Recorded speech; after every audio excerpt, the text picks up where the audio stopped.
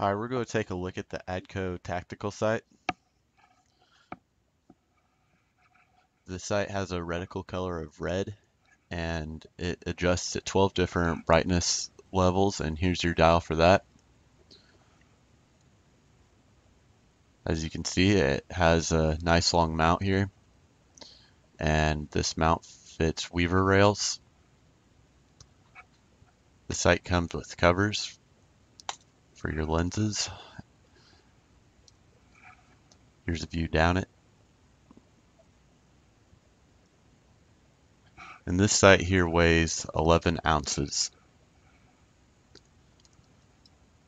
Once again, this is the ADCO Tactical Sight.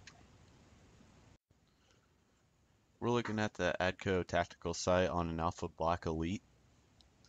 As you can see, this is a fairly large sight.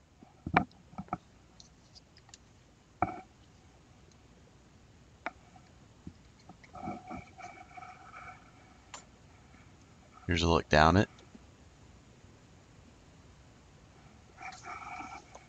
The sight is big, but it shouldn't interfere with a standard 200 round hopper.